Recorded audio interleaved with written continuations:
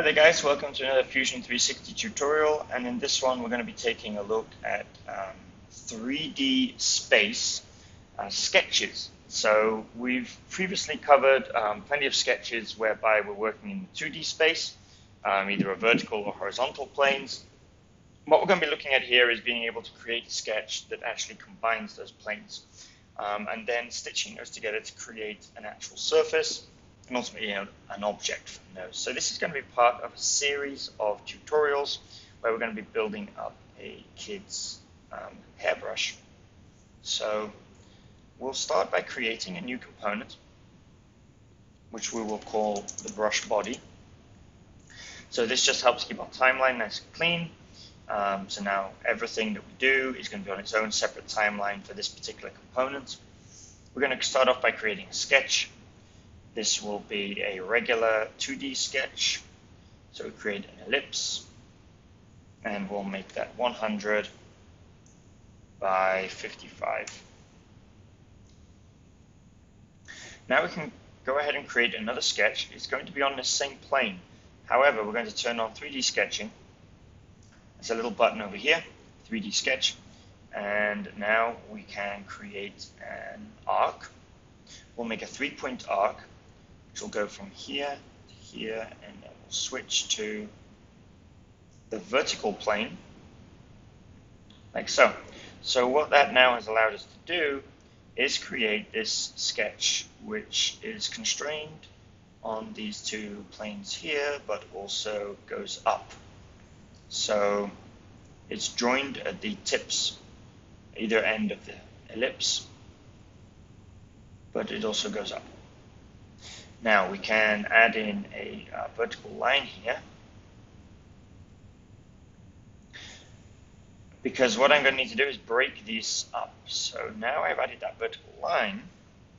I go to modify and break and I select this line, you'll see there's a red cross coming up there because I'm able to break this into two separate segments. Okay? Right now we're going to do the same again. We create another arc three-point arc again in 3D space. So we're going to go from this side to this side this time. And then we're going to go up vertically and place it there.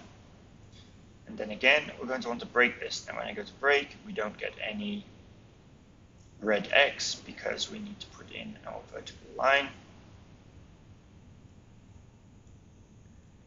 Now when we go to modify and break, you see our red X is there and we're able to do that. So now we have our separate geometries here, but the bottom is still a complete circle. So we will go and edit this sketch.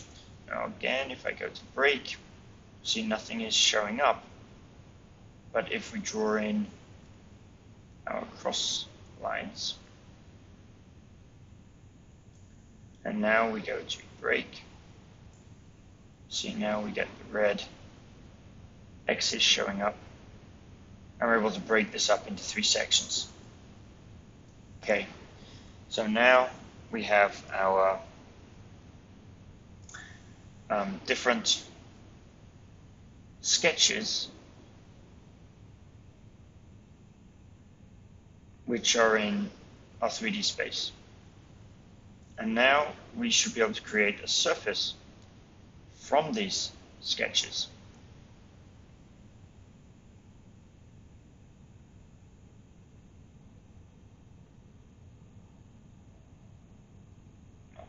Is this curve here. It's not allowing us to select this only.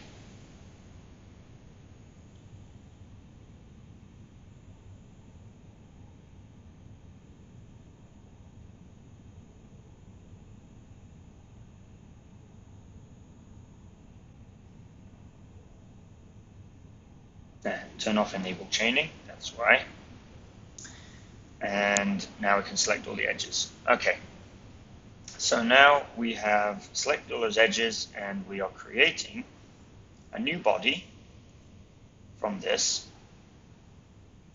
which you'll see this actually has no thickness to it. It's, it's just paper thin, but it's got the geometry and shape that we want. So what do we do next? Well, if we take a look in our bodies here, you'll see we've got this one surface. Now what we can do is, is mirror this. So we'll mirror the object. And we'll mirror it on this plane. You'll see it will create a copy of it there. Yep. And now we can stitch these two together. These are two uh, bodies, but yeah, basically now they are one. Okay? And now we're going to do the same again. We will mirror this, but in another plane.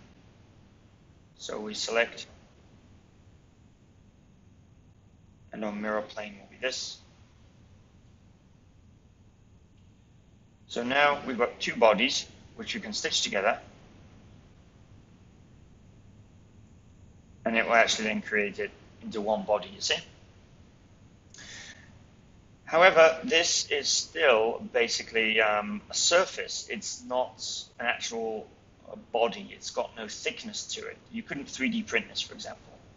You need to add some thickness to it. So the way that we're going to do that is we'll go over to our solids and we go to create um, and we go to thicken. And what this will allow us to do is we can select all these segments and we can make this thicker. So let's say make this one millimeter thick and it's going to create a new body for us. So if we go to OK, you'll see now we have our original surface, but we also now have this body which has thickness to it. So this is actually an object now that, eh, you know, technically you could 3D print because this is now an actual solid body uh, rather than only a surface. So that basically um, is how we create a 3D sketch and use surface tools to um, create a, a, complex curved surface. You know, this would be basically an impossible surface for us to make out of the solid tools. So you need to use the surface tools, but we need to be able to create a solid from it. So to do that, we use the thicken tool, um, and there we have it. So this is the beginnings of our um, model. I will post a link to be able to download the um, Fusion file. Um, so you can see our endpoint here, and you can also see the timeline um, that we've worked along. And what I mentioned earlier about the timeline, you see if we go back to our main model here, um, it, it, it, has separate timeline, you see. So there's certain um, actions which are only here inside of this particular timeline. And when we create more components, you'll you'll get a better idea of what it is I mean by that and how it keeps everything arranged. Okay, so thanks for tuning in. Don't forget to subscribe and like the video if you found this useful, and I'll see you in our next tutorial.